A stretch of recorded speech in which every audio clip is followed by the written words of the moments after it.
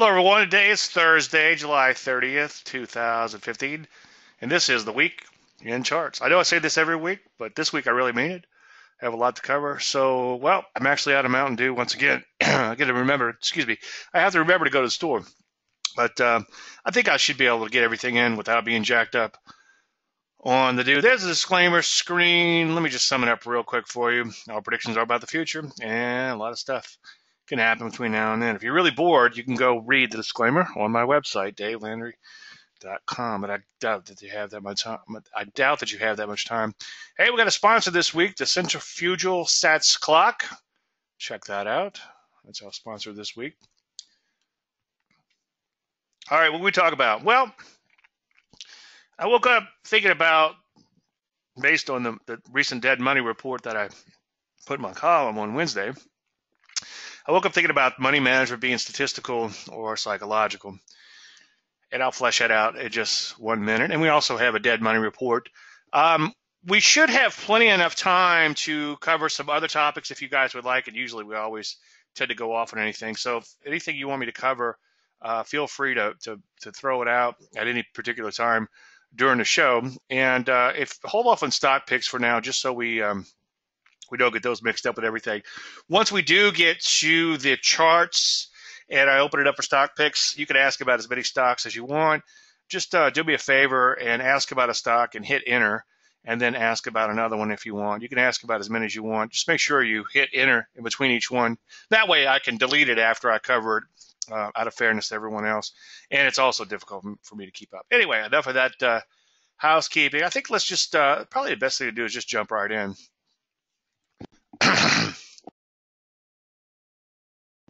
so a while back, I was asked, is your money management and position management psychological or statistical? And my answer to that question was yes.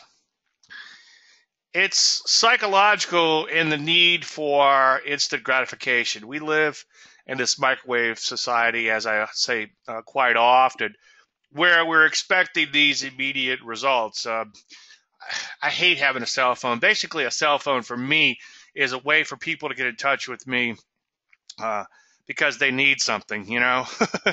uh, it, it's like so if I leave the house, when I, which I rarely do, but if I leave the house, the office, however you look at it, um, my wife could call me to tell me to pick up some groceries or run an errand or get lunch or whatever the case may be.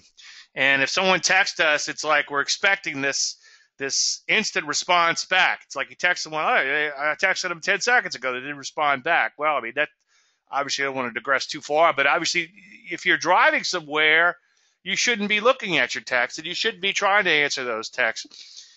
But people expect you to answer right away. And that's just the, the type of society we have become where everything is instant. And as I've said quite before, uh, quite a bit before, you can't even you can't even go to a video store anymore. I think there's one within about a 50 mile radius of my house that's still in existence. It's probably a it's probably a, a front for crack or something, but uh, or some kind of drugs. But most of the video stores went out of business because people don't have enough energy to go drive to a video store anymore. They want the instant gratification. They want to be able to download it and or watch it on a computer, or whatever the case may be.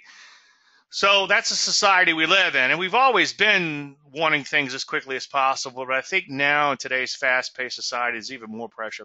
So there's a, definitely a need to be right and be right quick. Now, if things work out properly, like I have in this little textbook example here, this is taken from the Layman's Guide to Trading Stocks. I think you guys have seen this quite a bit.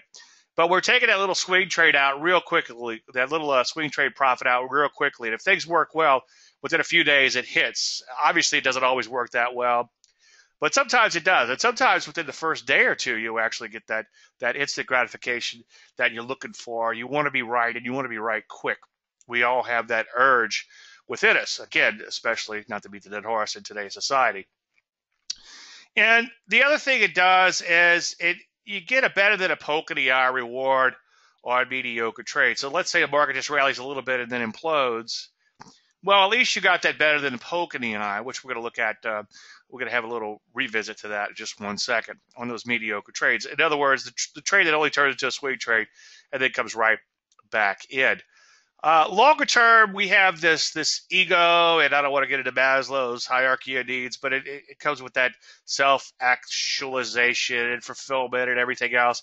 And I think when you get into the longer term uh, trend following and, being right longer term, getting in a position and riding it out for months and months and months and making a lot of money on that position, I think that helps our longer term ego need to be right.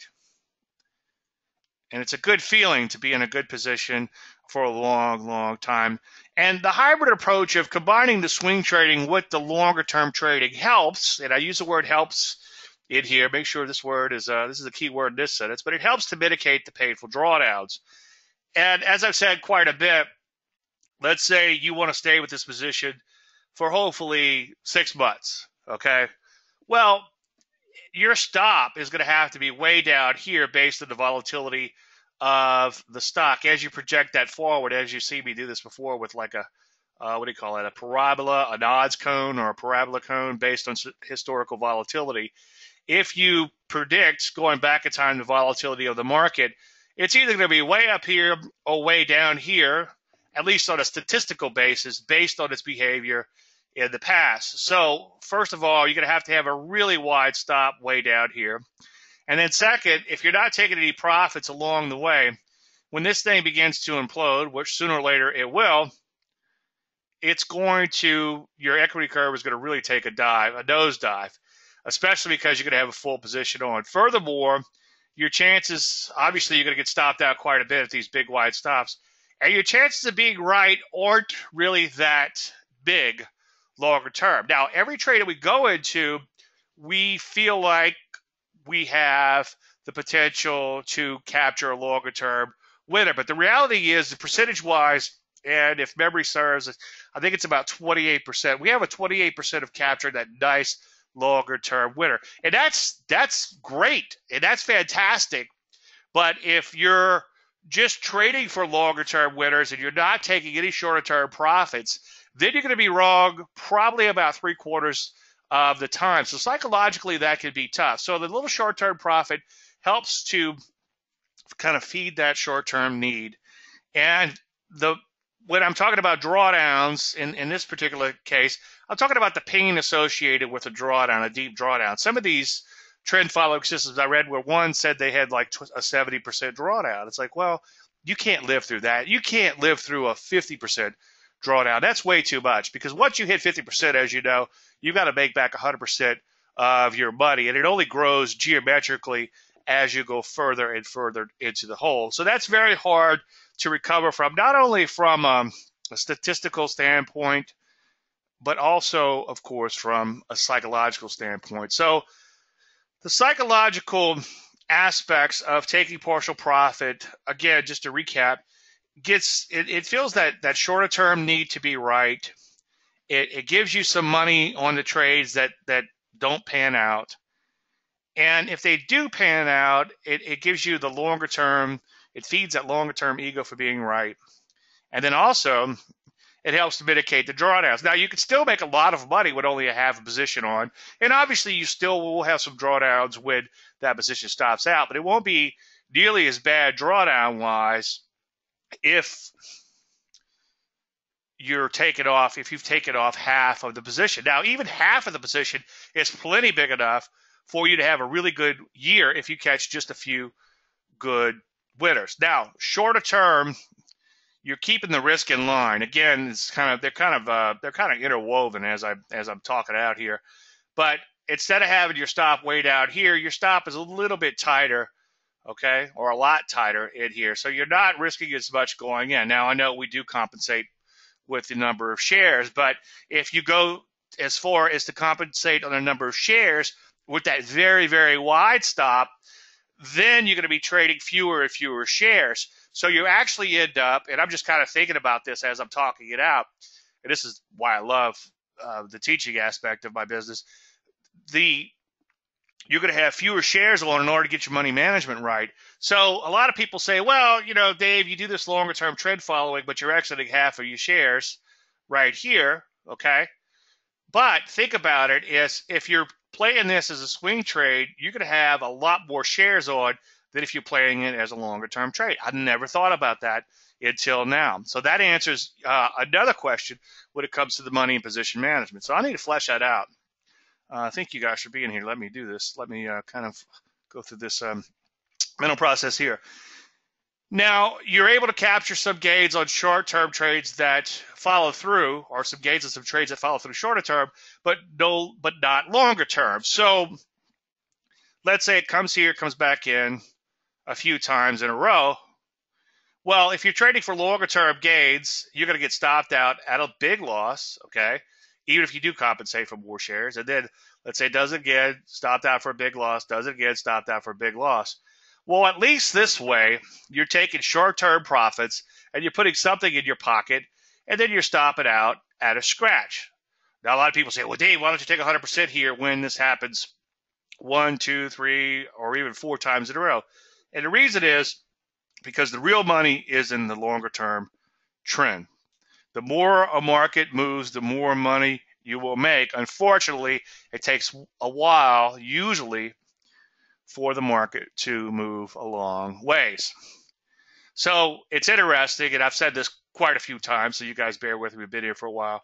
When we have trade after trade after trade that goes up, get a swing trade scratch, swing trade scratch, accuracy goes through the roof, which is phenomenal, which is great. Don't get me wrong, but I'd rather be a little bit less accurate and make a lot more money. I'd rather be right than make money, and that's a whole nother conversation. But that's a problem that a lot of people have is they'd rather be right than make a lot of money. And they don't realize that, but that human ego causes them to think that way. And that's where the psychology comes back in. If you are taking that swing trade profit and then stop it at least you're getting something. And at least you're getting some reward out of the trade.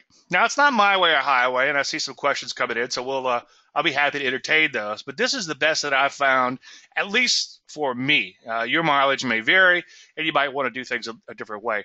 And then uh, just to close a loop on this, and conversely, let's say we have three positions in a row to do this. Uh, the uh, market conditions are fantastic. Everyone asks me, well, Dave, why not just keep on 100% so you make even more money? Okay.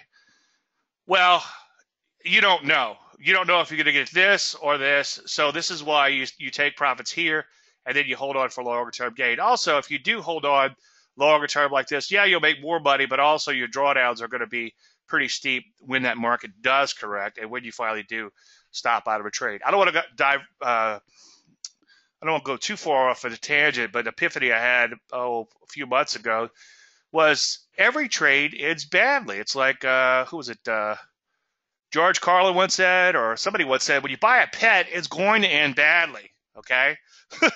so eventually it's going to end badly. So no matter how great a trade, in the end, you're going to have to give up some profits. It's going to end badly. And you have to wrap your head around that, that every trade is going to end badly. Either you're going to get stopped out, or you're going to make a little bit of profit and then give up the remainder of that, or the best of both worlds, as I always preach from a hybrid approach, you get a swing trade profit out, you trail a stop, but in the end, your stop is going to be nice and wide, and you're riding at that longer term trend. And yes, you will have to give up some of those gains, but so what? And um, you know, it turned out to be a pretty good book. I was a little skeptical of these turtle books, but uh, the one by I think it's Curtis Faith, The Way of the Turtle. It's right here in my bookshelf. I can my um, headset no longer reaches, so I can't go grab books like I used to. That's a bummer. But uh, anyway, in that book, uh, Dennis uh, treated the the drawdowns to open profits as um, differently than he did to drawdowns that were just plain old losses. So it's kind of like something that you accept when you trade. You accept the fact that you're going to give up some of those gains, and it just comes with the territory. Does it suck? Yes. Am I interviewing myself? Yes. like John McCain, he often interviews himself, which is funny. Um, but I don't want to digress too far. Anyway, so you're able to capture some gains on trades that follow through shorter term, but not longer term. And you don't get rich by doing this, but it does keep you in the game. Seems like uh, I don't remember when it was. It was either earlier this year or a while back. We had a phenomenal accuracy rate, but nothing really panned out. Okay, uh, we make a little bit, stop out, make a little bit, stop out, make a little bit, stop out. But those accuracy stats look phenomenal.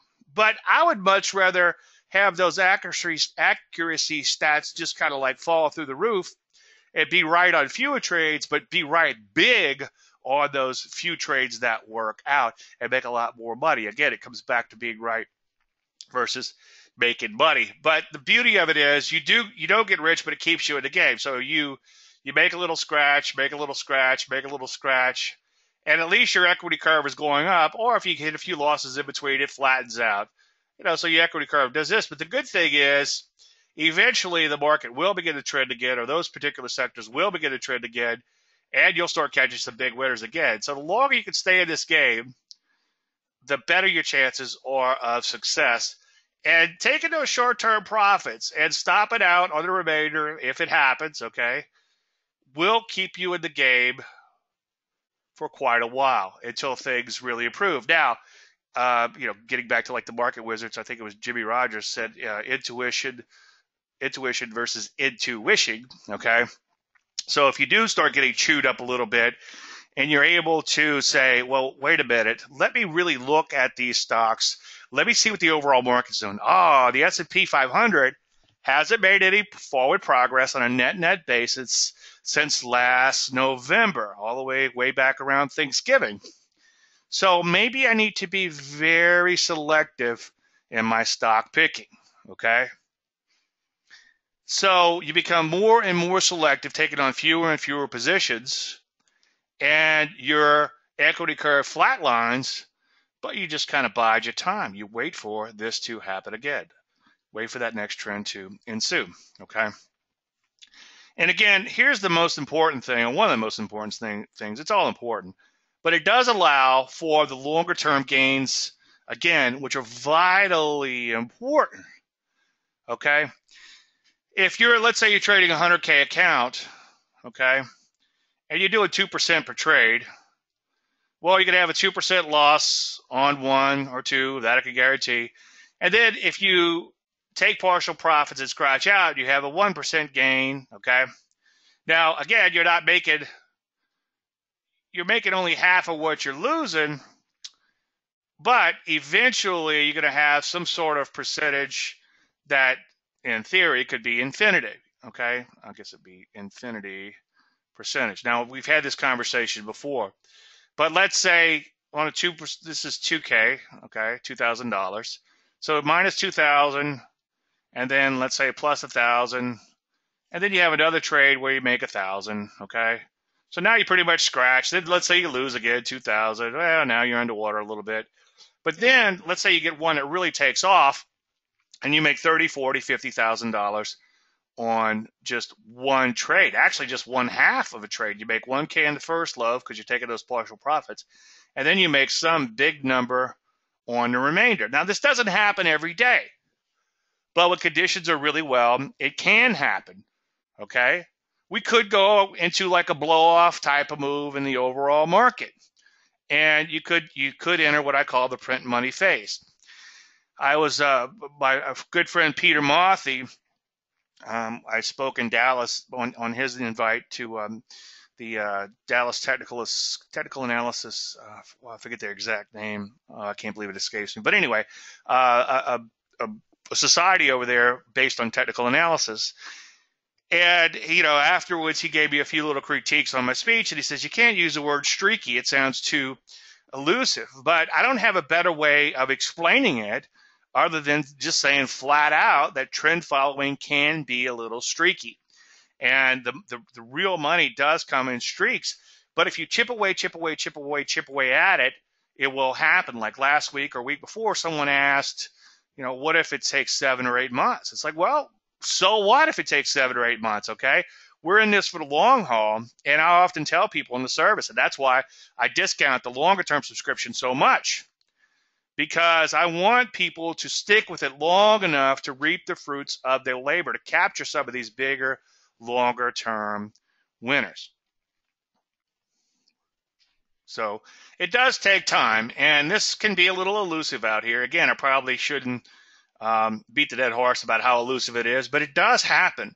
And it does seem to happen just enough to keep you in the game. Now, if it starts happening a lot, what happens is of course, uh, the the freshman psychology rears its ugly head. And then you start feeling like God, and you forget that you forget about those times where you just had to grind it out.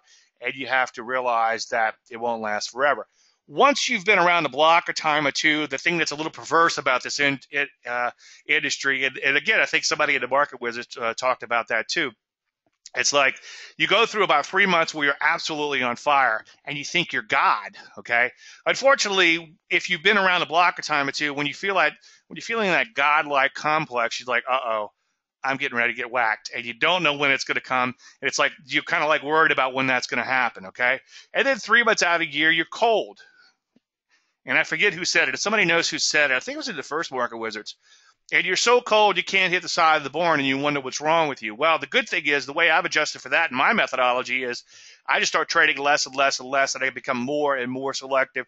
And I really look hard at those indices. Like I said, I think in my first book, I went to a TAG conference, Technical Analysis Group. I'm showing my age, um, which is the old Comp, CompuTrac uh, uh, seminars. I think they're now, they've since become, uh, that's where the Traders Expo comes from. Is those old tag conferences. And it's kind of like a pinch me moment. I don't think about it. It's like I've actually spoken at quite a few of those traders expos, and I'm speaking in Vegas uh, coming up. But I was like a little meager attendee uh, back in the uh, early 90s, I guess, somewhere around then. And uh, I had some initial success very early on, some very incredible success with my trading. And then all of a sudden, I could hit, I couldn't hit the side of the barn, and, and I'm like, "What the hell's wrong with me?" So I just kind of uh, became friendly with a guy, and uh, I started pouring my heart out to him, like, "Oh, I can't catch you trying to save my life." And he's like, "Well, you plotting the S and P?" I'm like, "Yeah." He goes, "Well, it ain't going anywhere in four months," and I'm like, "Oh." So it just kind of hit me, like hit me in the head like a halibut, like, "Wow, okay, so that's what's going on." So anyway, you will grind it out for a while, but if you're taking partial profits and you're stopping out, and you're getting stopped out when you um, when you just flat out have bad trades and you're becoming very selective, then that drawdowns will come, but at least you're going to mitigate it. And on the flip side, on the good side, the good problem to have is when you're printing money, yes, the drawdown will still come, but by trailing those stops higher and then by putting on new positions at the B time and everything, you'll help to mitigate those drawdowns as opposed to longer term trend following, which is going to be one, not very accurate, and two, deep drawdowns. Okay, uh, question maybe for future webinar: How do full-time smart, full-time small home traders deal with loneliness? Um, I don't know if I've had a problem with that. Uh, because I'm so busy. I keep myself so busy. It's like I almost want to be left alone. um, but yeah, that's a good thing. But just keep yourself busy. Uh, I, years ago, uh, someone said something about enjoying their own company, and and and that's kind of me. I kind of amuse myself uh, when I'm when I'm not um, when I'm not uh, in front of my screens and working in my office. Uh, but I would keep yourself busy with projects and research and, and just get lost in your research and get lost in, in, in, that kind of stuff. And if you don't feel like doing any research or whatever, then then I would pursue some sort of hobby or do something to keep you busy. I'm I'm talking with someone now, and they're a very busy individual, and they're going to grad school and they're doing all these different things, and, and they've got some really good ideas about some uh, some altruistic things they want to do with their life and it's just a, you know phenomenal type of person and but it's like they're just so busy they're like i'm not going to have time to trade but i really want to trade i'm like you're a perfect candidate for trading because you're going to do the right thing and you're not going to sit there and try to make something happen out of boredom okay busy traders make good traders and i learned that early on when when um many years ago. I might have been working on my first book. It's like a started going through a drawdown, and I tried to I was trying to climb myself out of the drawdown, but I was then I got busy working on the book, and I reached a point where I was like, this trading is actually losing me money, and this book I'm really busy working on it, and boy, I tell you what. Uh, you know, the stress from losing money is is not letting me finish the book. And it's like, and then all of a sudden I was like, well, wait a minute, I'm not really following my own plan anymore because I'm too busy trying to climb out of this drawdown. So I backed off on the trading, and then it's it goes back to like the Jimmy Rogers thing about the money in the corner. All of a sudden, I started seeing trades that just were just too good not not to take. So I would take them, and they started they became profitable. Now the old me would have micromanaged myself out of it, but because I was so busy, I would go a day or so and say, "Oh wow, it went up three or four points." I would have easily grabbed that profit and put it in my pocket and been happy. But then it made me realize just follow your plan, stop the micromanagement, stop trying to make everything happen in one day on these trades, let them unfold. And that made me realize that, hey, you know what? I actually do better by letting things unfold. And, and, probably five years before that, I had even better lesson. I was on vacation. Um, and I was on a boat. We had a sat phone, but it wasn't really that good. That was way back in the day. And so I really wasn't able to micromanage my trades. And when I got back to the airport, I got I grabbed an IBD and I saw that I had absolutely printed money. I had some options positions on, and I absolutely printed money while I was off uh, sailing boats in the West Indies. And then, uh, of course, as soon as I got back to my house, uh, I, I, I exited all the trades and felt like a genius because I just paid for my vacation. I was feeling pretty good. And then I watched in agony as they just went on and on and on. So uh, keep yourself busy if you if you get lonely, uh, and uh, just do that, uh, and that's going to help out uh, tremendously. But that is an interesting thing to um, to mention. Why does a trading system guarantee being profitable? Sometimes I feel trading randomly would have done better.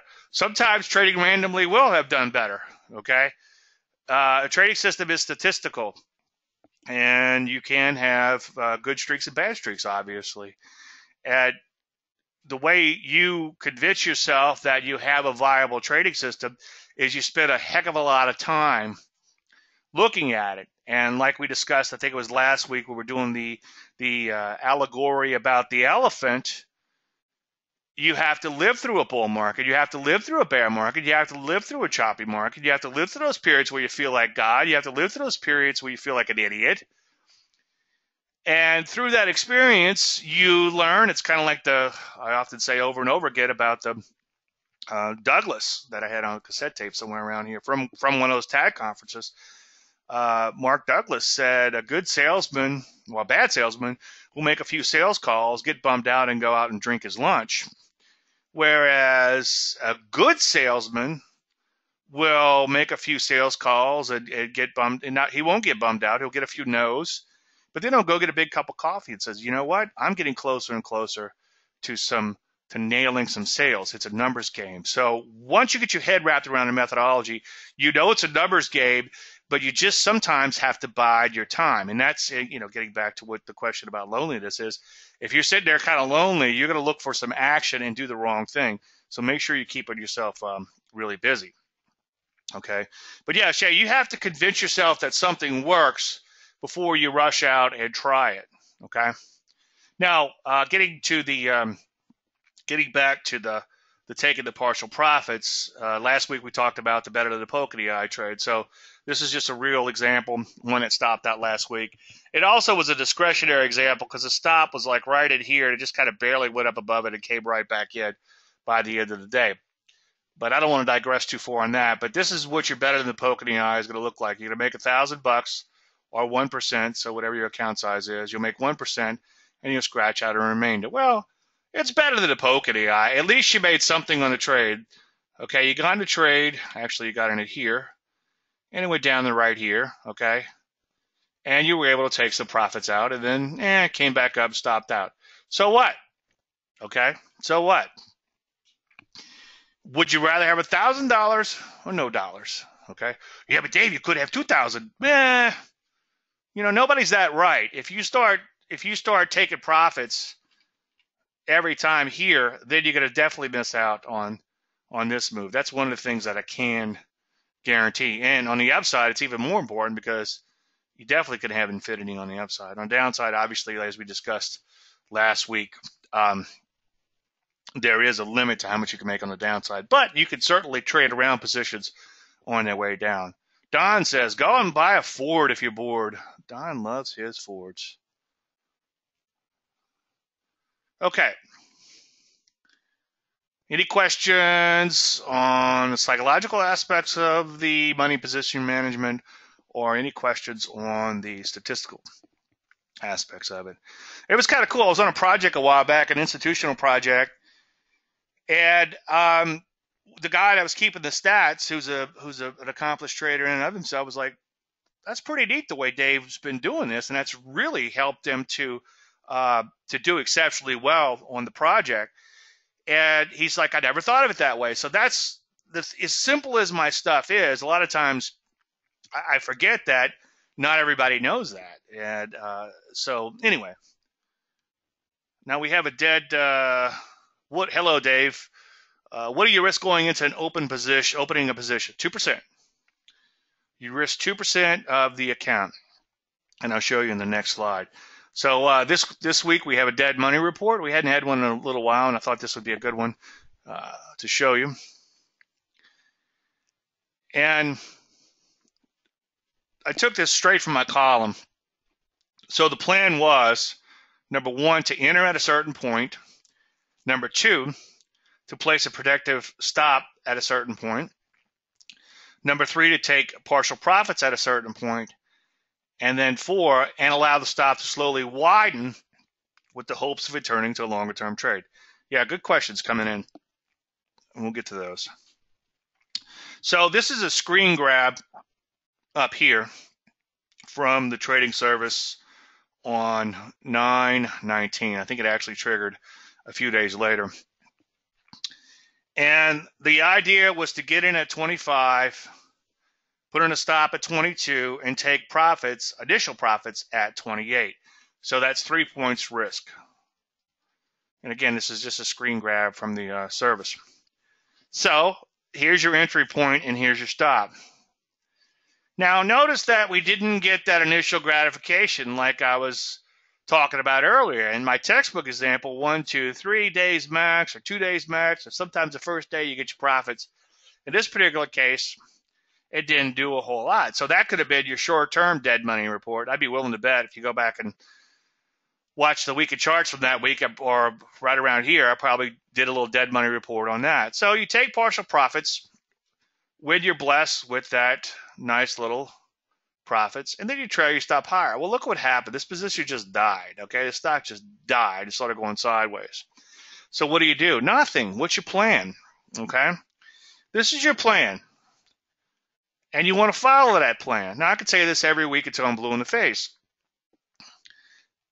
And admittedly, I know it's easier said than done. It's hard to sit through days and weeks and even months while the position is going sideways. But as long as you're not stopped out, there's nothing wrong with the stock. Now, you want to obsess before you get into the trade and not afterwards. This was an IPO, if memory serves.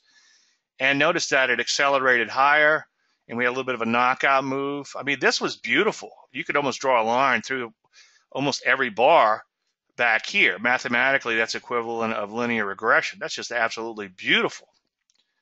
And then you got your nice little pullback here. Plus, it's an IPO, if memory serves. So there's some excitement about the future in this stock. Okay. So again, you have to obsess here while everything is 100% clear. Ah, I like that. Obsess here where everything is 100% clear. And then you enter into the unknown. Well, how do you deal with the unknown? Follow your plan. Okay. There's your plan right there. Does it always work? No, of course not. If it did, you wouldn't see my fat ass again. yeah, you would. I'd come out. I'd, I'd come out and taunt you. Um, anyway, so you take partial profits, and you got your stop up to break even. So worst case, you scratch out, and at least you made something. And best case, who knows? This thing might keep on going.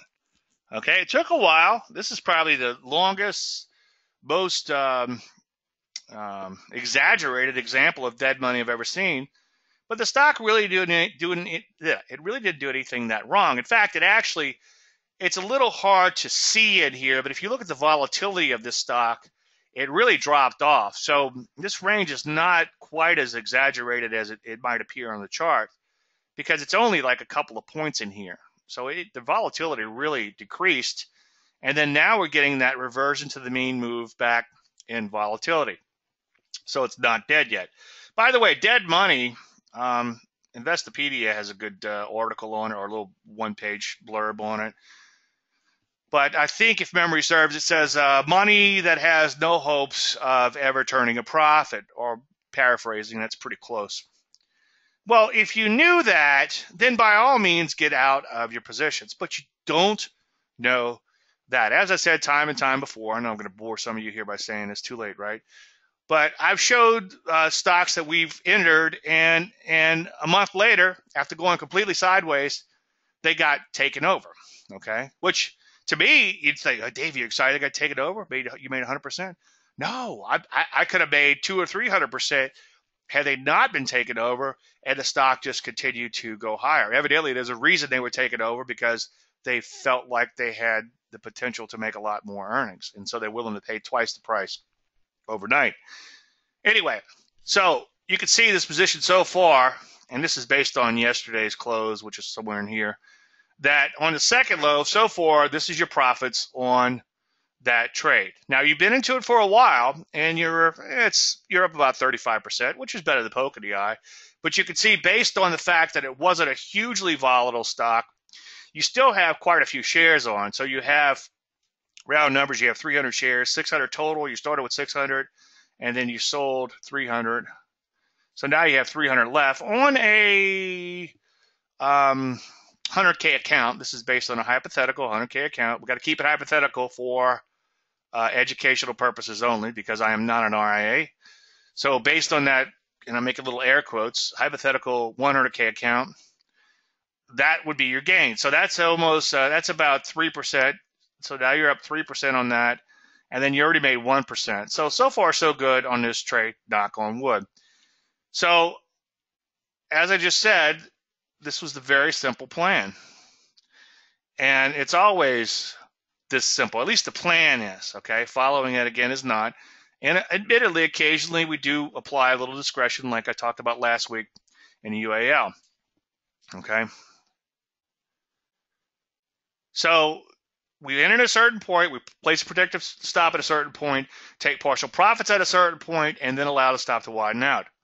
When you went in with 25 and set the stop at 22, that's more than 10% risk.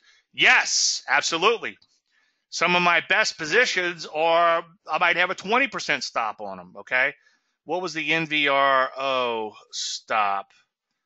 Uh, was like eight points or something. Okay. It was, it was much wider stop but you're compensating by trading fewer and fewer shares.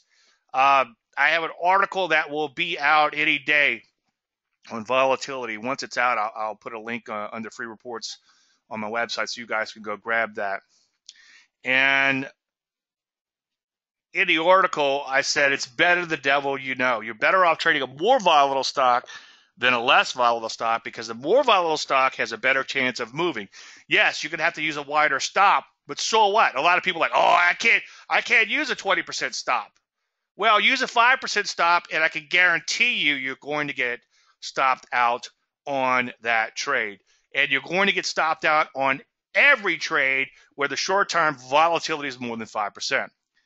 The 2% risk is 2% on your entire account, which comes to $2,000. So even though this risk in here is 10% or whatever, uh, about 12%, I guess, maybe a little more than 10%.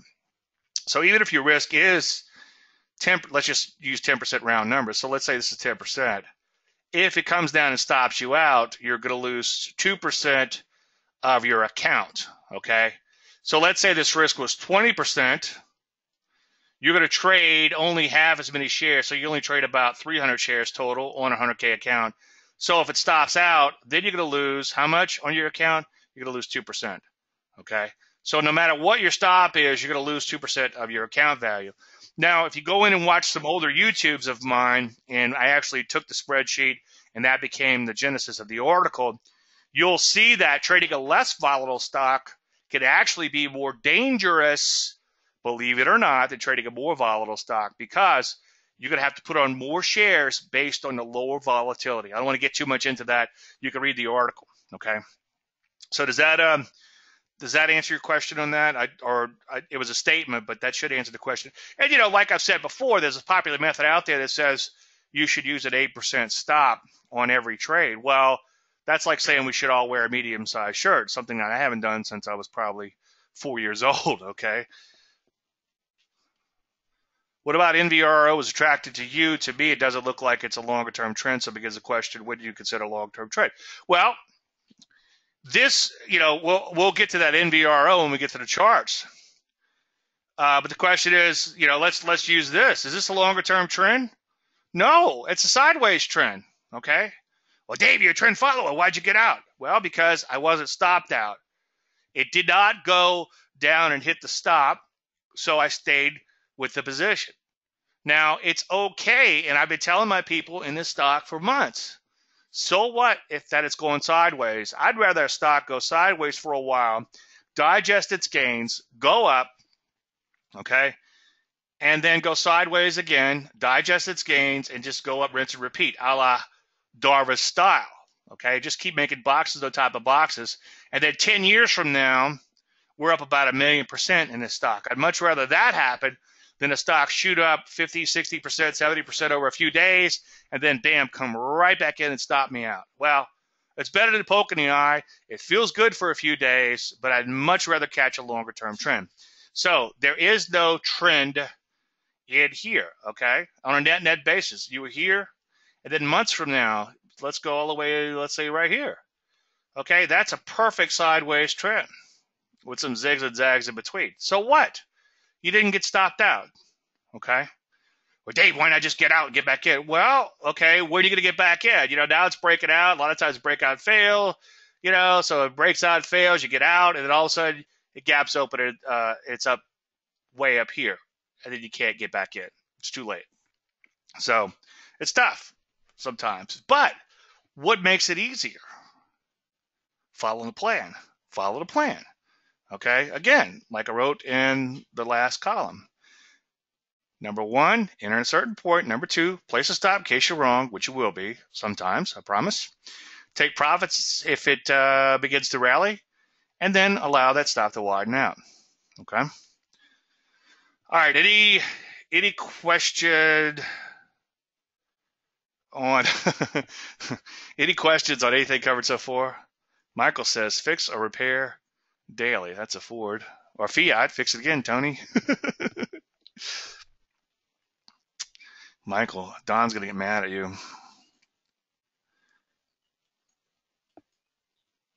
How do you statistically measure a discretionary method? You can't. You can't statistically measure any method. You cannot statistically measure any method. I don't care what anyone says. Because markets are not normally distributed. Okay? If markets were normally distributed, we wouldn't have all the so called Taleb black swans, the so called black swans coined by um, Taleb. They simply aren't. If markets were normally distributed, and you could use statistics, then whoever knew the most about statistics or whoever and or whoever had the biggest computers would own the markets. So if you want a guarantee, buy a toaster. But yes, you could not, I cannot guarantee my edge in the markets, but I know it works because I know sooner or later market would trend. And the only way you could ever make money on a trade is to capture a trend. You must sell higher than you buy, and you must cover lower than you short. Okay? So that's why I'm a trend follower. Let's say you're a contra trend player. Well, you buy, let's say you buy oversold markets. Well, that's fine. But the only way you're going to make money is if that position moves in your favor. So that position is going to have to trend. If it just drops further, then you can lose more and more money.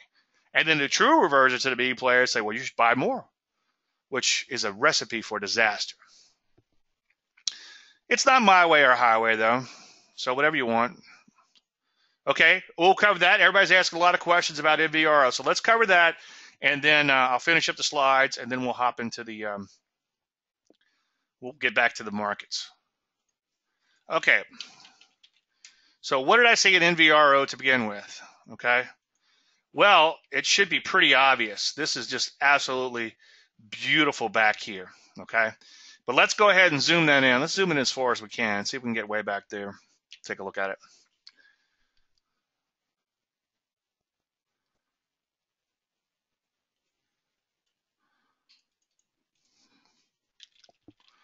NVRO was an IPO last year. It took off. Not only did it take off, let me clean this chart up. Not only did it take off, I mean, this should be plain and the nose in your face. You see, it kind of worked its way higher. Not, not to get too excited about then, but then it began to accelerate higher. Anyone who owned this stock prior to it coming public, anyone who bought this stock after it came public, insiders, uh, flippers, uh, venture capitalists, whoever the players are, are happy because they're at a profit. This is your first correction, your first pullback in an accelerated uptrend. Okay. So that's a beautiful setup. Now, the second question on this one is Hey, Dave, it doesn't look like a trend. Well, you're right. It's no longer a trend, right? Well, it's it's a trend. It's just not a beautiful trend. Okay. Uh, if you want, maybe throw a longer term moving average in there. Maybe that'll make it look like a trend. I don't know how much a 200 day moving average will, will give us. Probably nothing. Let's put a 50 day in there. Let's see. Oh, let's fix this. Okay. Well, even the 50 is flattened out, okay? But you can see it's still, from here to here, at least it's higher than it was, okay? But what you do is you just follow your plan, okay?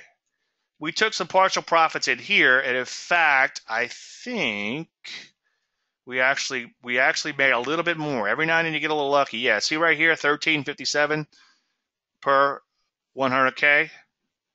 So you actually you you actually made 1.3% on the trade when you're only looking for 1%. So you actually made more money on that than you intended, which is a good thing. Won't always happen, but it's a good thing. So why are you still in the trade? Well, the trade is the is not. I don't know where the stop. Where's the stop on this one? Let me look. Let me see. Stop is. Oh, I can't see it from the screen. Well, anyway, you're not stopped out yet, so this thing is just consolidating. And then, yeah, it's going sideways, but who cares? Maybe it's going to pop up again and make another base on top of a base, just like that CTLT. Okay. If I had to bet on one, I, I mean, I don't know. Well, I hate to say that because then I get myself in trouble.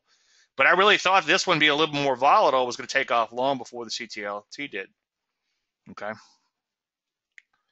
So uh,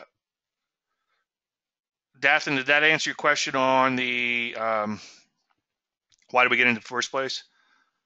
What about MVR was attracted to you? Yeah, to me, it doesn't look like a longer term trend, so it begs the question. Yeah, now keep in mind that, again, as I preach over and over and over again, I even said today, you obsess when you have perfect hindsight and then you just accept. Okay, obsess before you get into a trade, not afterwards.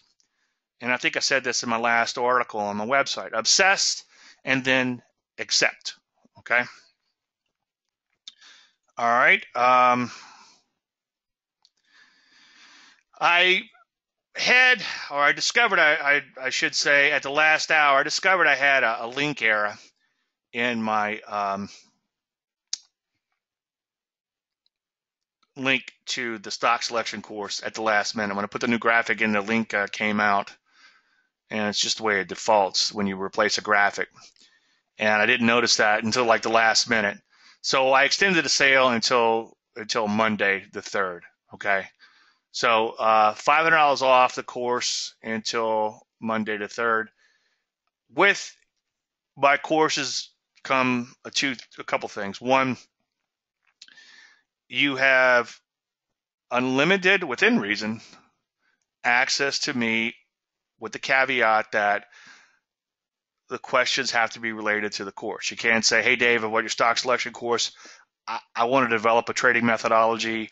Uh, this is my thoughts. Uh, will you help me develop the methodology?" The answer is no, unless you're going to pay me, okay, and pay me a lot of money because I don't want to get into.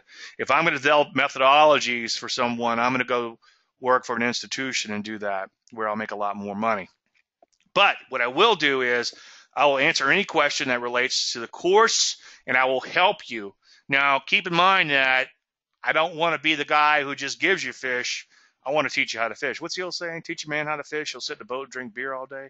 Um, but no, I want to teach you how to fish so that you could, in case I get hit by a beer truck or something, so you could take this knowledge and and profit from it.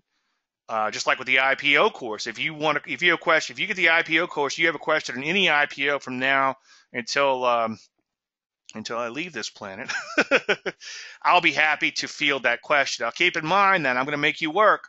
I might make you go back in. I'll answer the question, but I might make you go in and watch a course. The second thing that all courses come with is free access to follow-up courses. I like to to go back in, freshen the material up a little bit, see what worked, see what didn't, see how conditions change. So I'm probably going to start redoing the courses about once every year. I'm due to do the IPO course, and uh, tentatively I have that scheduled to uh, be redone um, in August, and I'm going to redo that course. And then uh, the stock selection course, I haven't set a date yet for it, but I will redo that course at some point in time. So you get free access to any new updates to the course, and you come to the new live courses with that. So anyway, I don't want to pontificate too much on this, but if you're interested in this, you can go to my store or you can use this direct link here. Okay. And live courses are going to be uh, any live courses uh, are, are are never discounted. Okay. Um, so if you get if you want to get in at this lower rate here, then you'll have access to the live course. Same thing goes for the IPO course. If you get in the IPO course now, when I redo it in August, you'll have access then. What is your cost schedule posted, Dave? Uh, go to my web, go to go to the store. Everything's there. Okay.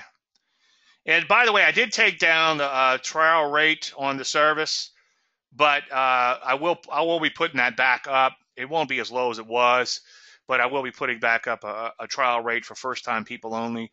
Uh, I've got 10 years of archives out there. I think you can go in and look at uh, a few months, a few years, and, and just determine whether or not the service is for you or not. You can watch these weekend charts. Every week I use examples that are straight from the service, and quite often I publish the web, uh, the, uh, the actual spreadsheet. So you can see how it works, good, bad, it differently. Um, and so I, I, don't really see the need for a, a low, a low uh, uh, trial anymore at least at this particular time. Check back often. I might uh, change my mind. All right, I'm ready to chop, jump into the charts. So let's jump into the charts. Okay, I tried downloading reports, but the links in the email were wrong. All right, I'll check that out. Let me make a uh, let me make a note of that. Yeah, I'm having a little, a few growing pains here and there, but it's all good. Um, it's a complex system that I implemented, and um, it could do a lot of things. But yeah, it does have um, some pitfalls as far as um,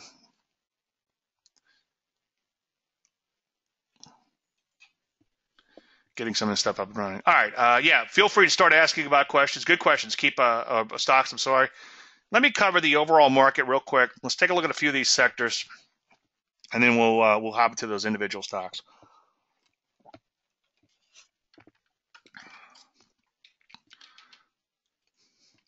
Okay, overall market, basis the P's. Let me clean this chart up a little bit.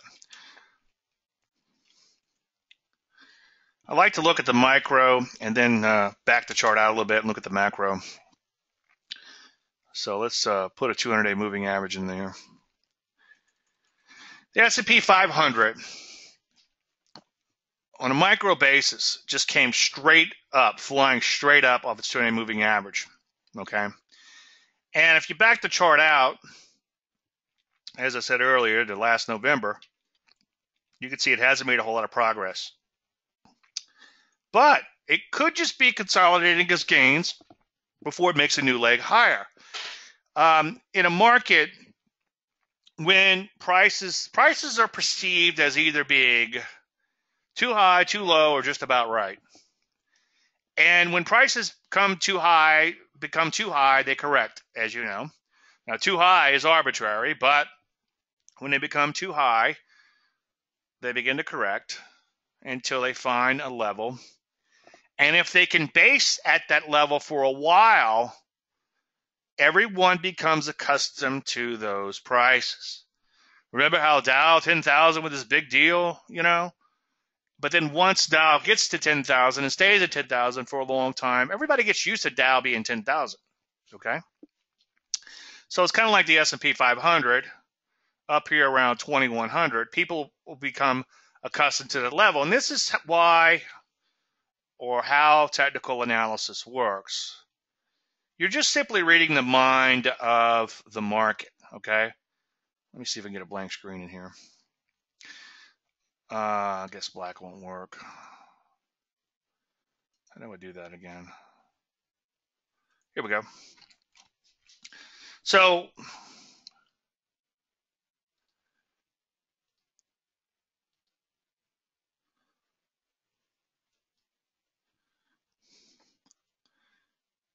So let's say a market rallies up and it just seems like it's too high up here, okay? Well, then it consolidates by going sideways. So let's just let's just use uh, let's call this 2,000, which would be close to where the P's have been. So 2,000 seems a lot, uh, pretty high, especially when you're back here at, at 1,000, not that long ago, or what 666 back in uh, 2009, right?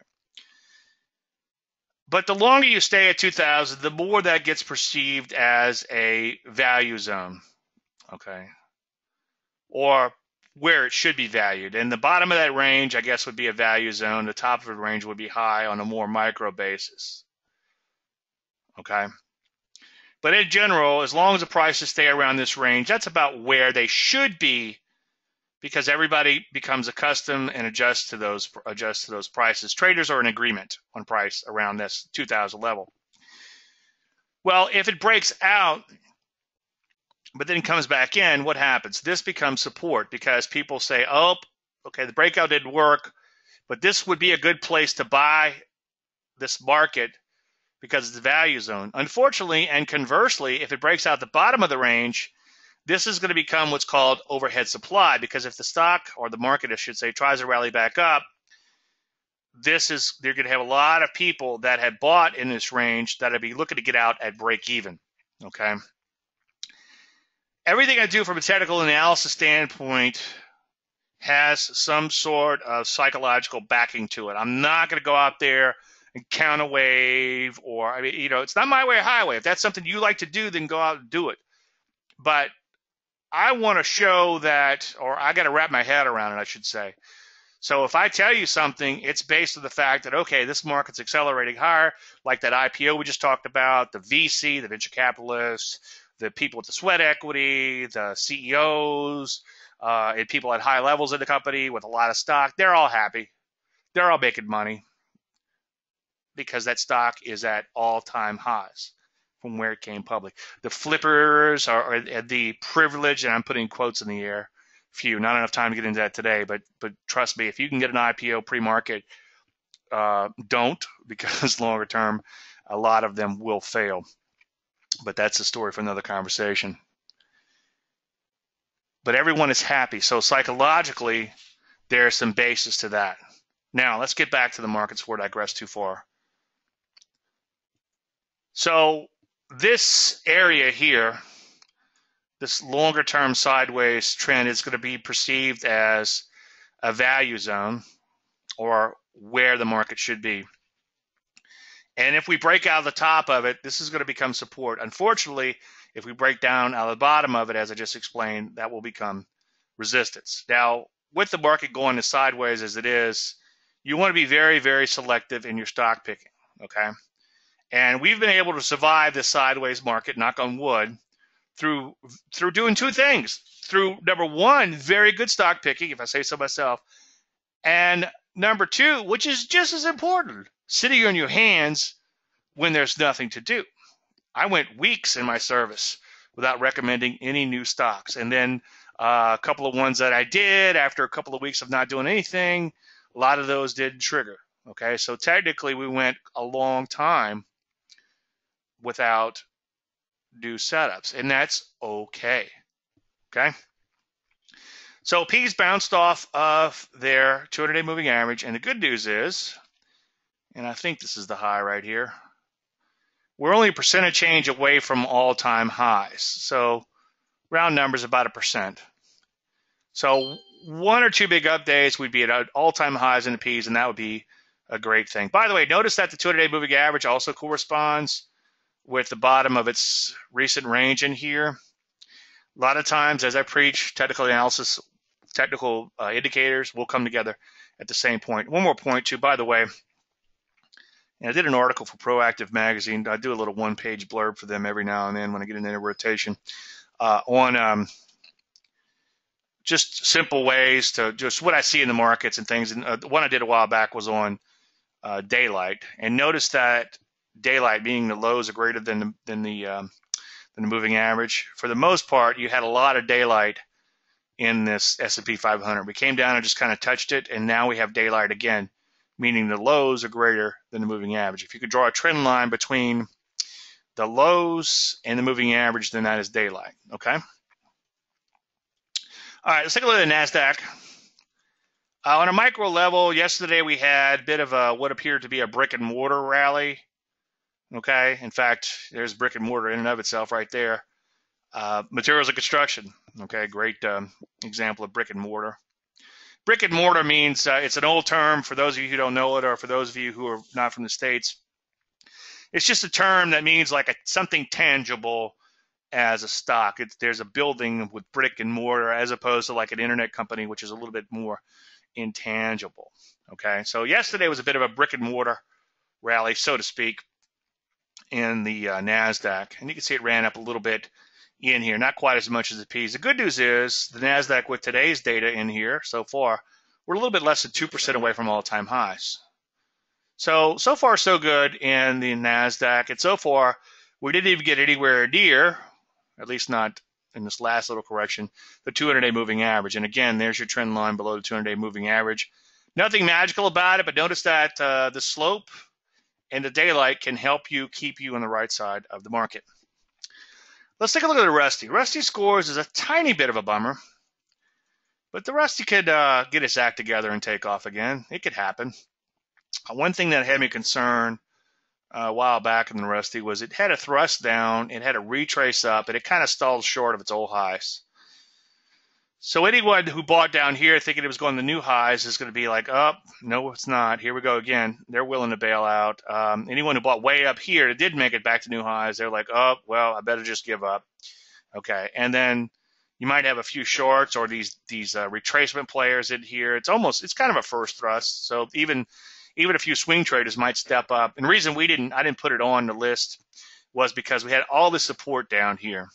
So what's the most you're going to get out of the trade from there to there? Well, it's it worked out nicely. Okay, what in hindsight, better than the poke the eye. But I don't think it's worth it whenever you have a trade that is capped, and that's why I didn't put it on my trading service. Plus, it's an efficient market, and it's harder to trade efficient markets as opposed to something like an inefficient market like the NVRO and the CTLT that we talked about a little while ago. So Russell's got a ways to go to make it to go to make it back to old highs or new highs, however you want to look at that. But it is kind of consolidating in here, and it did find a little support. And uh, admittedly, it's not much to get excited about there, but it's kind of hanging in there. Uh, some of these sectors are doing okay uh, today, notwithstanding, but insurance is like right shy of new highs in here. A couple other areas, retail's been doing really well. You can see retail closed at brand new highs just yesterday. Let me unflag everything so we don't forget what I talked about. And drugs have been doing pretty good, but then they kind of stalled out a little bit on a kind of a micro basis in here and a little rally back up. But I wouldn't count them down and out just yet. Biotech kind of same thing. Biotech a little bit of a bummer because it pulled back and kind of stalled out a little bit. Longer term uptrend still intact. Now, when you see this kind of action in here, and some might argue that well, it could look looks like a micro head and shoulders. It might be. But when you see this kind of action here, you want to do two things. You want to honor your stops just in case. And then number two, you want to be selective on, on any new positions. We have one uh, biotechnology related stock that we're looking at, and we got a couple on our radar. But we're going to make darn sure that we wait for entries on these particular on these potential positions, I should say. Uh, health services was just at new highs, or just just shy of new highs, just yesterday. Kind of eh, losing a little steam today, but right there. Okay. So you got a few areas that are kind of hanging in there. Now, like I said in the call, last column, depends on where you want to look. If you want to bear, make a bear case, chemicals have imploded, and they pull back a bit, little bit. They kind of look poised to make a new leg lower. Energies look absolutely abysmal. And by the way, this is why you don't try to catch a falling knife, okay? Down at their old lows, they look pretty cheap, right? Again, I'm making kind of air quotes in the air. But notice that they took out those lows with vigor. So you don't want to try to catch a falling knife. Now, I'm not going to go and trade them, but they do look a little sold out way down here. Okay. But that doesn't mean you should rush out and trade them. Because, I mean, look at what the metals did. Metals looked a little sold out right here. After all, in a serious downtrend, they broke down. And then what happens? They make another leg lower. So you want to err on the side of the longer term trend, and you don't want to fight the trend. I know it's cliche, but you'd be surprised how many people want to come in here and try to catch the bottom in the metals or the energies, especially something like gold. Look at gold. Gold looked cheap down here Okay, and then it got cheaper. What's the old saying? It's always darkest right before dawn. Well, I'd like to also say it's always darkest right before it gets more dark. Okay, and this is why we don't try to catch the falling knife. Same thing for silver, as you can see, broken down in here. Uh, transports are getting a little iffy or been a little iffy, and now they're getting a little mixed. But you can see that they had a thrust lower. We had a thrust, pullback, thrust, pullback, and then you know the question mark out here. Is this going to be a new leg lower here or what? But so far, looking kind of ugly. And again, that's the beauty of something simple like the 200 day moving average. You had a really, really nice trend all the way throughout here. And now we've got a lot of trading below the 200 day moving average. So maybe this is the beginning of a new trend lower. Okay. All right. Uh, I think I've covered pretty much everything. A couple other areas. I mean, it, again, it depends on where you look. You look at the foods, they're kind of hanging around new highs in here. A lot of these other areas look a little dubious. Semiconductors, back of the dubious column. And, you know, a lot of people like to see the transports rally with the overall market. I would like to see that happen too. That's the Dow theorist way of looking at things.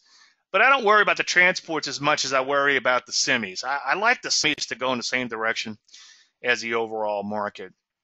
And as you can see right now, not looking too good. Um, I want to, was that a bow tie I drew in here? Yeah, you had kind of a was it like a two day bow tie or something? Yeah, look at that. Beautiful. That's a two day chart. Beautiful bow tie. And then so far it's selling off fairly hard out of that bow tie. So semi's looking a little questionable in here. So again, it all depends on where you look on what you're seeing. Uh, on a good note here, now this, I wouldn't rush out and buy bonds. I like to see it like off like a multi multi year low. I mean, I know it's more than one year, so it's it's technically a buy signal in bonds. But I would like to see this come off a major, major, major low. But you got a bow tie in bonds. Now bonds have been headed lower, and everybody and their brothers is like the sky is falling, interest rates are going up, and they have been going up. Okay, bonds down, rates up, as you know. But now we've got a bow tie higher in bonds, and now bonds are beginning to bottom out a little bit and looking pretty darn constructive. So this might help the market along a little bit. So again, it, it, comes down to once again, it all depends on where you look for what you see in the overall market. And that's why you got to be really careful not to have a strong bias. Now, we all have a bias if we're mostly long, or we all have a bias if we're mostly short. Right now, all we have, I think, is three longs or four longs left over in the portfolio. So you got to resist the temptation to only see the the positive bias, to see the glass as half full and half full only. Okay, so it gets back to the elephant, the trunk, the tree, the spear, the fan, or whatever else, the wall. Okay, you got to see the whole elephant, and you get. And right now, I'm seeing it's a very mixed bag. The good news is if these indices could break out to new highs, we're one to two percent, depending on what index you're looking at, index you're looking at. If we do break out to new highs, that rising tide will eventually begin to lift all of these boats.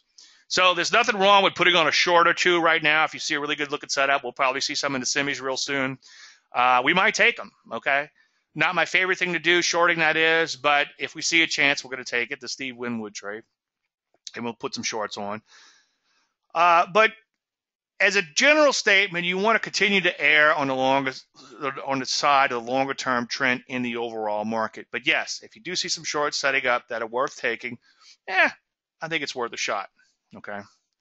Is that your bow tie? Yeah, the bow tie here is, uh, I like to put the 50 day simple in with the bow tie. And if you get a fulcrum like we have here, right at the 50, and let me just clean up this chart so it doesn't get too busy on you. But when you get that fulcrum, notice they all cross beautifully right around that 50. And notice the inflection point of the angle on the 50.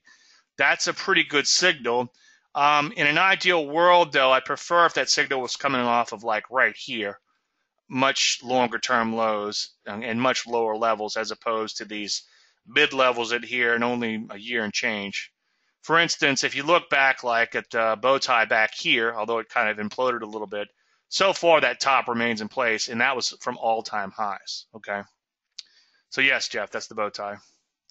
All right, let's uh, open it up for individual stock questions. Some good questions coming in already and uh, we'll start um, looking at those. Okay, I like ETSY. Uh, yeah, that's actually been on my Landry list for a while. I think I took it off yesterday, uh, but it still looks pretty good. Admittedly, uh, this was the mother of all failed IPOs, and this is an example I've shown over and over again. This is why you don't buy an IPO when it comes out, but sometimes you let them bottom out and you get a little bit of a bow tie or something like this once the moving averages begin to work uh, then it could they could be a viable setup. But yeah, it looks um, it looks pretty good. I can't argue with you on that. Congrats on Ruby. Well, Ruby stopped out a while back, but Ruby was a Ruby was one of those longer term positions too. And it went sideways for a while, and then it came back in and stopped out. So what? It's better than the poke in the eye trade. So, but yeah, we're no longer in Ruby, so I can't uh, get excited about that. Thoughts on Apple? Is go- is it going lower? Well, let's take a look at it. I'm not a big fan of Apple because it's such a big, thick stock. Um, unfortunately, it does look like it could be in trouble. Uh, everything I just said, remember about the value zone and all. Uh, this uh, level here, and what's the bottom of that range? Oh, about one. Let's just say 125 round numbers, 130. Uh, that's going to be hard for Apple to get through that level. I wouldn't rush out and short it, but uh, I do have a strategy I call reversal gap strategy. To those of you who know it, uh, this is a little bit of an extreme example, but yeah, you got a gap down after almost making new highs, and so technically it would be a short, but it's super duper thick stock, and it's become very efficient. So I would uh, I would pass on Apple, but it, yes, I agree. It does look like it is a little bit of trouble at this uh, moment. Hey Jerry, uh, that's that service that um, stock is on the trading service, so we can't. Uh, but good eye, good eye. Jerry was on my service for a while. Looks like he um, he got the gist of how it works. Uh, Simp is making a knockout move or lower or just plain dangerous. Oh, all right. Uh, yes, to answer your question.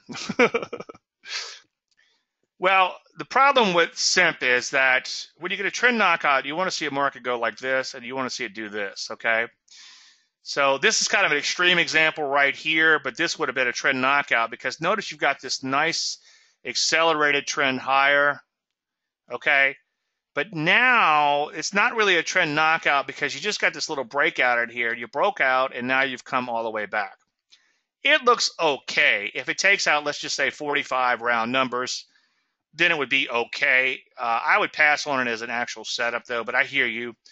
Um, but remember, the trend knockout, you want to have a pretty serious trend that you want to knock out from. You don't want a little breakout that comes all the way back into its prior base. And this was this is something that was covered. I think I covered this in stock selection course, and I might even covered it in, in the um, the teaser video I did on YouTube. So check that out if you get a chance. A N T H for Jerry. Okay. Um, this one has caught my eye quite a bit. I just can't get past the longer term problems with this chart. Markets have really long memories, and sometimes uh, you could run into a little trouble. Uh, remember, we talked about this one as a pullback a few weeks back, I think, if memory serves. Um, I think I'd pass, and, and, even if it didn't have those problems way back then, you don't you want to see it kind of clear this prior peak more decisively before uh, looking to trade those pullbacks. Okay. I don't know if I, I can't copy links, unfortunately. I don't think. Uh, something with bitcoins. Cryptocurrency seems like a good buy. Um, yeah, I can't I can't bring the link up on that, but uh, that's something we could certainly explore. I'll take a look at it. Uh, I do have a um, I do have a way to plot bitcoins, but not not quickly. Uh, yeah, your answer your question, yes, we can't talk about that one. That's actually the setup of today. Very good eyes. I'm proud of you. Good job. My work is done. Um, yeah, I'll take a look at that one, uh, Andre, later. I'll take a look at Bitcoin. Sorry about it. I can't I can't plot it. Yeah, in a smiley face. What? Jeff wants to know at what? Jeff Johnson. Johnson. I think I know a Johnson or two. Um, went to college with one or two. Of course, I went to college in uh, in Lafayette, Louisiana, undergraduate school. So I know a few of those.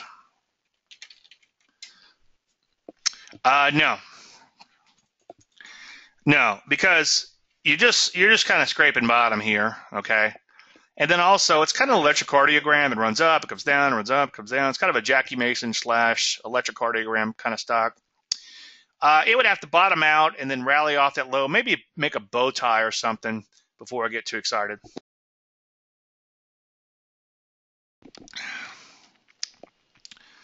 Susie says, I went long PayPal today. Wants to know what I think. Okay. All right, let's take a look at that. PayPal was a setup for a few days in the service uh, on my ancillary setups. The only thing I don't like about it is I wish it would have made a bigger leg higher. It's also a big, thick stock, as you know. But no, it's not bad. That's what I call the first deep retracement. So uh, congratulations. I think that's a I think that's a good trade. I'm not going to argue with you on that one.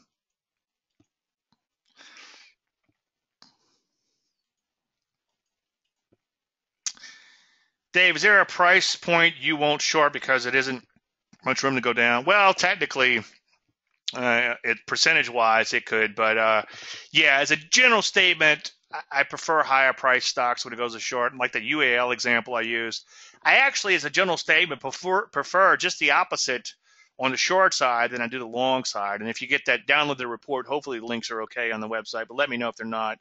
Uh, if anyone else is having trouble, but if you download the GoGo NoMo report under free reports, which is under the store. There's one that I did on uh, shorting efficient stock. And GoGo, I mean like a go-go stock. NOMO means like the momentum is lost. So if you short these efficient stocks, you could do uh, quite well. So yeah, ideally you want to see them a little higher priced. I don't have a number in my head. It's kind of like uh, Justice Potter Stewart. I know I want to see it, but if you need me to throw a number out to you, uh, Dath, and I'd say uh, about twenty dollars a share at least. You want to see something that's actually a little bit higher level before you start shorting. Okay, so we need to check out Bitcoin when we get offline, and then we'll take a look at that. Anyone trade Bitcoins? I've got a, um, I have an account with, uh, I can't decide whether it's legitimate or not, and it's something I don't want to explore but I can't decide whether it's legit. Anybody ever trade them? And again, I'd, I'd much prefer, although I will trade forex uh, too, but I'd much prefer trading something that's a little bit more inefficient. Speaking of inefficient, somebody just pulled up. Uh, wants to know about who wants to know about Fold? Uh, Don, hey Don, good good stock. Uh, yeah, it looks good. It broke out and you got a little pullback and it's above the base. Okay, so yeah, that looks pretty good. Uh, if you're long, stay long. But yeah, it does look uh, really good. Thoughts on Apple? Yeah, we looked at Apple. Don wants to know. See, Don's gonna undeem himself. Can you undeem yourself after you redeem yourself? What's a good word for that? Uh, Ford, eh, you know, it's still in a downtrend. It's pulled back, but it's efficient. Uh, trades a bazillion shares every day.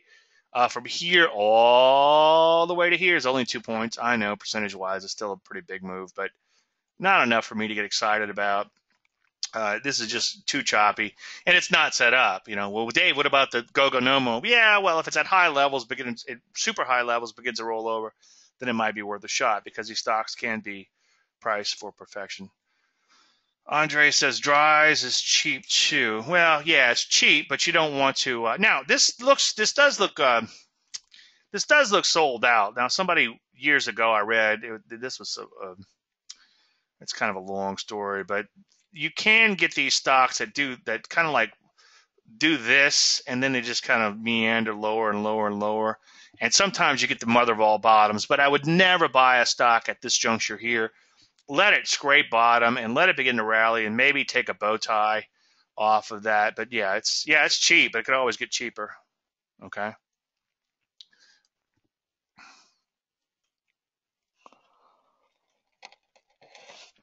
MX. No, no, you got a big gap down in here. You don't want to. You know, anybody who who got caught in this gap, they're looking to get out of break even. So there's no need to uh, to do that. OTEX uh, gap reversal strategy. Let's take a look at that. OTEX.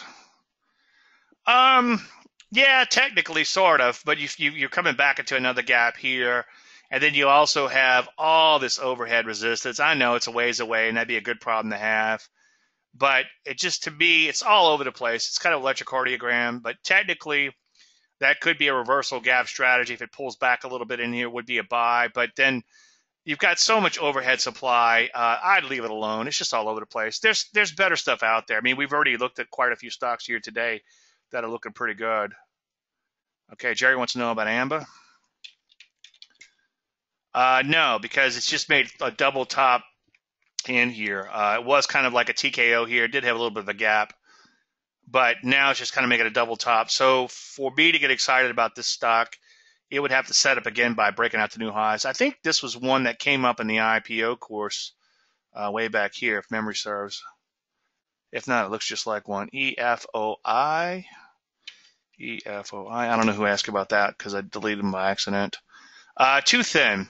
It only trades about 80,000 shares a day. Uh, IPO, sometimes I'll make an exception on thinness, but this one's kind of electrocardiogram. I hear you and I see what you're seeing, uh, but let's pick it apart. Uh, let's suppose, notice that you've got all this consolidation in here that came back down. Margin call. So I would uh I would avoid this uh, particular trade. How many times I have to tell you I do a show every Thursday. Also, let's say you were trying to pull back one, two, three, four, five, six, seven, eight. You got nine days of the pullback. You kind of want to pull back to look like this, okay? You don't want to look like this. At least on on a, on a bigger level, okay? Now, this could end up, if it looks like this, this is going to confuse you a little bit, but if it does look like this, you could end up with what I call a double top knockout. But in this particular case, uh, I would pass just on the way it's acted in here. Plus, it's too thin, plus longer term. Okay. I'm just trying to pick it apart in different ways, too. Gold further to go? I don't know, Carol. Uh, what do you think? It could, could. Uh, you know, it's in a downtrend for sure. Um, I think it's probably, you know, here's the thing you have to realize. Uh, I guess gold has end use value. If something has end use value, then you could argue that it's cheap. Stocks have no end use value, okay? And this is a, an argument I'm borrowing from Tom McClellan. So if somebody's a commodity trader and and they just buy these markets when they hit 10 year lows or whatever they are and they have deep pockets and they can hold on to them it's not my style of trading. I'm not necessarily excited about trading in that kind of fashion. But they do have some end use value. Uh, you can eat corn or you can grind it up and, and, and burn it. Uh, it helps to ruin engines by making it you can make corn and ethanol so to ruin engines. Um, you know but let's not go let's not go there. But um,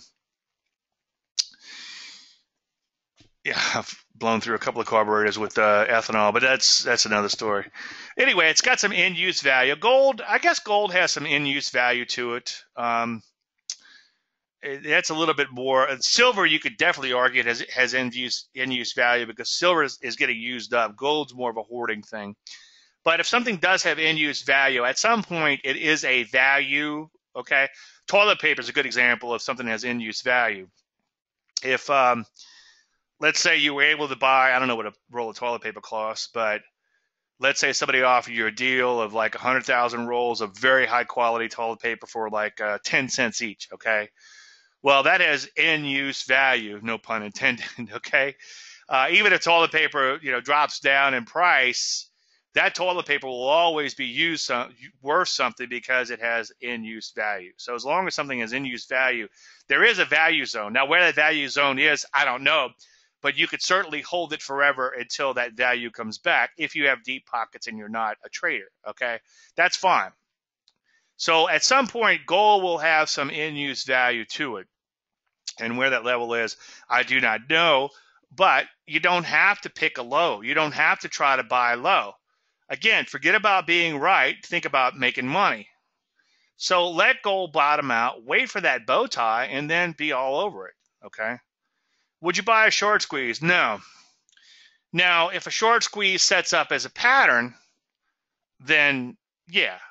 But how do you really know if it's a short squeeze? I mean, you know in that you get the sharp move higher in a market, but you don't know for sure if it's actually a short squeeze or just some people buying, okay? But when you do trade a bow tie or a first thrust or any of these other emerging trends or transitional patterns, okay, you are getting in early to where that short squeeze could be the catalyst to push the market higher, to squeeze out more shorts, to attract more longs, and so on and so forth. Especially if you're trading off of multi, multi year lows, okay, or all time lows, or let's say 10 year lows at least, then yeah, you can get some really nice moves, even in inefficient markets like the currencies, okay. Uh, Dathan, that's actually on my buy list for today too. Uh, I'm not. It's not an actual recommendation, but it is on my list. It's something I saw, so I can't talk about that. But yeah, it's definitely. I hope I'm saying your name right. It's definitely set up. Um, yeah, we covered Amber already. Yeah, we looked at what. What did you say? Did you did you ask about a stock and walk away? Did you did you like go make a sandwich or something? Yeah, we talked about this one. It's wide and loose and all over the place. Wait for a setup. you know, we we talked about you while you're away, Jeff. Just kidding. Day thin? Question mark. Okay. Uh, Dave, it's pretty much to it. Just want the bottoming bow ties. Yeah, wait for a bow tie on that, Jeff. CHRS. Now this is kind of your TKO type of move. If you took out this part of the chart, looking backwards, you can make a nice argument for this stock. Okay, it's worked its way higher, it's accelerate higher, and then bam, you got a nice little TKO move, a TKO within the pullback. Go back and watch. I did. I don't. I need to catalog these one day. Maybe somebody could help me do this. But I did uh, YouTube or a week of charts where we just talked about TKOs, and I thought it was a pretty good show if I say so myself. And the point I was trying to make in the show is sometimes you can have a TKO within a pullback, and this is what you have here. So this is pretty good looking here, except that uh, you back the chart out a little bit, and you can see that well, you're just barely getting past this peak, and now you're coming back below it. Again, you know the human nature thing. Anybody who bought around these highs uh, might be thinking about bailing out as it drops below. So for me, this would have to break out further for me to get interested in it again. Okay. All right, let's take a look at a few more, and we're almost done. JBLU. Um, I'm not a big fan of the airlines. It broke out, and then it came back in below its little breakout levels in here. So let it accelerate higher before going after it. I mean, it's not horrible, but I mean, it is longer term trend, but it's not set up. ERI for Andre. ERI. Uh, no, notice you broke out and then you came right back in. You broke out and came right back in. Okay. If you're long, stay long by all means. Okay. But again, we look for perfection going into a trade, and you just take what you get afterwards. Agent, no, it's kind of all over the place. I mean, you had your your knockout move here, which looked pretty cool, and then it didn't really materialize. And knockout never really triggered, and then now you've got a bunch of sideways movement. So it would have to make new highs. You went long VA after bow tie. That's uh, what Virgin. Yeah, good job. Yeah, this wasn't the cleanest setup in the world. Um, as far as like, uh, you know, it was it was kind of a, a, gradual little little kind of sideways movement. But yeah, you did have a stealthy bow tie. This was in the list oh a few days ago or about a week or so ago. But yeah, good job on that. Uh, one thing I didn't like, you do have a little overhead supply to deal with, but I cannot I cannot argue with your success with that uh, particular bow tie. So good job on that. Thanks, Dave. Great show. Learned a lot, and a few good setups confirmed. All right, Dathan. Cool. We'll get on a trading service, and we'll I'll confirm you setups every day. Agent, no, we talked about that one. And look with the bow ties here; it's kind of rolling over. Okay, you're welcome, Heather. Okay, PGNX. I think this will probably be. Uh, we'll take one more. Uh, no, notice you've got the little um, peak here you got past the peak and came back in. Uh, again, you know, you want your um, you don't want your your pullbacks to look like uh, look like this, and then you know back like that, pull back below, or however the case may be. Okay. Okay, looks like we're at the time limit here. Um, I have a blast doing these shows, as you can tell. Thank you guys so much for showing up. Any unanswered questions, I'll be happy to answer your emails, david@davelandry.com. Just give me a little while because I'm I'm pretty uh, slammed as of late, but uh, I will be happy to get to that. Anything that requires a little bit more thought, I'll uh, use it as fodder for next show. I, and I welcome topics, so feel free to shoot me emails on that. Uh, if we don't talk again, everybody have a fantastic weekend. Again, I can't thank you enough for showing up. You're welcome, Leon uh, to these shows. So again, everybody have a great weekend. We'll talk again, and then uh, hope to see all you guys and girls again next week. Thank you so much. You're welcome, Smitty.